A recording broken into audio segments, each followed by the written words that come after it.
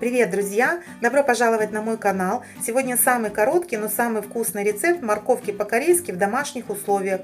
Очень просто, но очень вкусно. В описании под видео указано количество ингредиентов. Мы с Сашенькой желаем вам приятного просмотра и приглашаем вас подписаться на наш канал, чтобы не терять вкусные простые рецепты.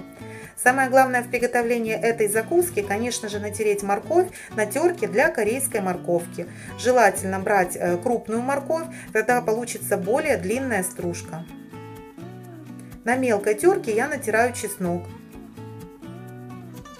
Добавляю его к морковке.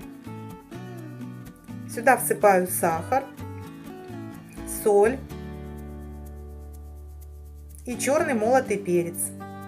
Вливаю уксус и растительное масло без запаха. Вот и все приготовление. Теперь все это хорошо нужно перемешать и в течение двух часов морковка готова. По этому рецепту она получается средней остроты. Если любите более острую, добавьте приправу для корейской моркови, которая острая. Все хорошо перемешиваем и убираем в холодильник. Я вас уверяю, что долго она там не состоится. Получается очень вкусно, а так как грядут впереди праздники, то такая морковка очень быстро улетает.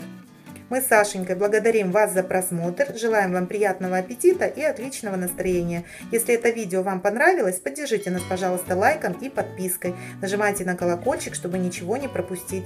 Очень ждем ваших комментариев. Смотрите другие наши видео и помните, лучшее впереди. Всем пока-пока!